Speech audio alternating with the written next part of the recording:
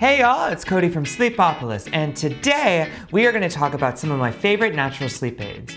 Whether you're overusing prescription sleep medications or simply want to snooze in a healthier way, this is the video for you.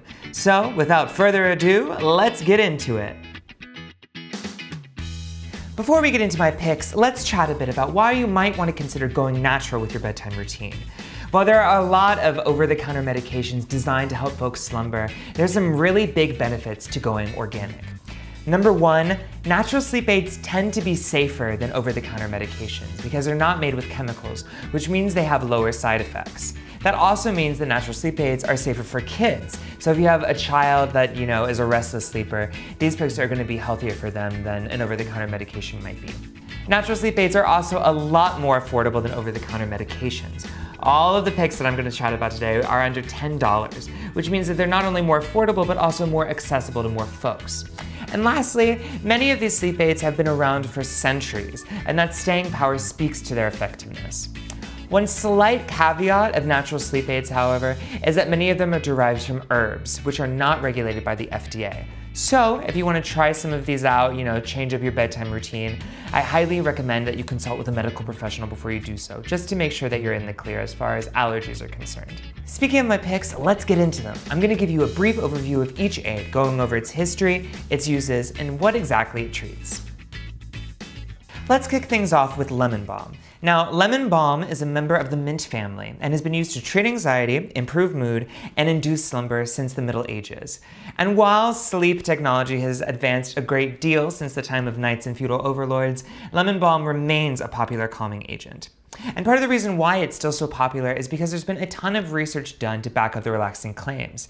In fact, one recent study found that lemon balm wasn't only good at reducing restlessness, but also excellent at reducing anxiety. Now, you can take lemon balm in a couple different ways. As I mentioned, you can do a lotion or you can do a tea. And for me, I really like to take lemon balm in a tea. Um, you can use whatever brand you like that you find at a grocery store or pharmacy. And I like to put in my lemon balm, throw in some hot water, and let it steep for at least five minutes. I find with herbal teas, I like to let them sit for a longer amount of time so that the water really draws out all the benefits of the herbs. Um, and then I enjoy it about 25 to 30 minutes before bed. Um, I will say that lemon balm has a really like calm, subtle effect. It's not gonna knock you out or, you know, make you fall asleep immediately. But if you're in a relaxing state of mind, you're kind of mellowing out, it'll definitely help you on your journey to dreamland. Chamomile is another ancient medicinal herb that's been used for centuries. Um, a member of the daisy family, this flowery plant is packed with flavonoids that have been shown to relax the body and encourage sound slumber. Most commonly expressed in teas, chamomile is a highly accessible natural sleep aid and can be found in most grocery stores, pharmacies, and supermarkets. Um, and I like to take it just kind of like how I took the lemon balm tea. I set in a tea bag, pour over some boiling water, and let it sit for about five minutes or so. And as with lemon balm, I like to enjoy it about 20 to 30 minutes before bed. Of the two, I find chamomile to be a bit stronger. Um, and even if I'm not in a very restful place, I feel like it can get me into a really nice restful zone. And usually after I take it, I fall asleep, you know, in about 20 to 25 minutes. So if you want something a little bit stronger than lemon balm but still want to take a tea, I think chamomile could be the one for you. In recent years, Montmorency tart cherry has gained traction as a possible natural sleep aid. And why? Because tart cherries are rich natural sources of melatonin, a hormone that's directly involved in the sleep-wake cycle. And while your body produces melatonin on its own, specifically in the pineal gland in the brain, taking an outside source of melatonin and adding it to your body's own natural supply can sometimes help to improve sleep, especially for those who struggle falling asleep at night. And while all that sounds great, there hasn't been too much research done into tart cherry's direct impacts on sleep. However, a 2010 study did find that tart cherry juice was associated with statistically significant improvements in self-reported sleep among older adults with insomnia. And if you're interested in tart cherry and want to incorporate it into your bedtime routine, you can either drink tart cherry juice or take a tart cherry supplement like what I have right here. And of the two, I prefer the pills because I don't really like sugary drinks and I want something that's gonna interact with my body in a quicker way like these do. So unlike other sleep aids, tart cherry isn't gonna work immediately. Like if you're feeling sleepy one night, you can't pop these in and fall asleep immediately um, because your body has to acclimate to their effects. So you need to take them for at least two weeks before you feel any results. Kava, sometimes characterized as kava kava, is a crop of the Pacific Islands that has long been regarded as an effective natural sleep aid. Though historically popular among the native populations of Hawaii and some parts of Micronesia, the tropical plant has only recently started to be used as an herbal medicine elsewhere. Um, the medicinal benefits here are derived from the plant's bitter root, which is said to have sedating effects. Now, there hasn't been a lot of research done into this, but early signs point to kava kava as being effective at managing stress and reducing anxiety. And while you can take it in a couple different forms, the most common type are in these soft gel pill capsules, which have the herb packed in there. And you take a couple during the day for relaxation or at night for better sleep. And when I took these, I noticed a really subtle effect. I think it might be like the tart cherry supplements I talked about earlier, where you need to take it over the course of a couple of weeks to really feel the impact. But I will say that from the moment I took them, I did feel like a nice calming sensation all across my body. Valerian root has been used as a medicinal herb since at least the time of ancient Greece and Rome. Over the centuries, it's taken on a lot of different uses, from cough-reducing tea to mood stabilizer, sleep aid, and even elf repellent in medieval Sweden. Apparently, it was very effective. But nowadays, most folks take valerian root tea to help calm the nerves and relax the body for sleep. And there's been a lot of research done into the root's health benefits, but there haven't been too many studies conducted into its direct impacts on sleep.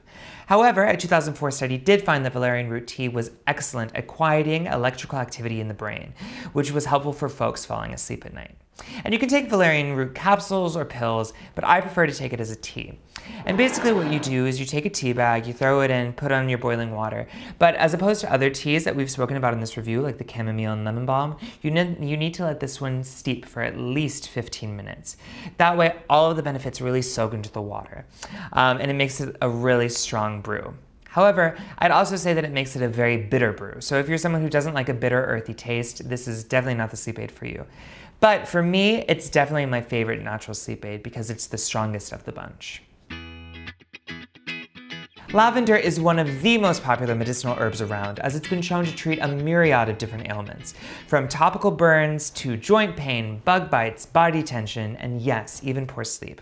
In fact, recent studies have shown that the aroma of lavender is specifically good at interacting with the nervous system to relax and quiet the mind. And as far as taking lavender for sleep is concerned, you can do it in a ton of different ways. You can spray your sheets with a lavender spray, you can drink lavender tea, you can rub lavender body lotion all over your body, or you can do what I like to do and get some baking lavender, like the kind we have right here. This tin is so hard to open. Um, and um, you can just take the lavender right to the face and inhale some of its scent right before you go to bed. So if you're looking for sleep aid that you don't have to take or you don't have to drink, this could be the one for you. And finally, let's talk about passion flower. Native to Central and South America, this genus of flowering plants has been used for centuries to treat everything from skin boils to ear infections, restlessness, and stress-related fatigue. In our modern times, it's most commonly used to treat anxiety and insomnia. And if it sounds like something you might want to try out, you can take passion flower tea or you can take passion flower extract. And what you do is you take a full dropper of an extract, you can use whatever brand you like, and put it into a glass of water. Stir it around, let it sit for a few minutes, and then drink it either during the day for relaxation or right before bed to help fall asleep. Now, in my opinion, it has a really subtle, sort of mellow effect.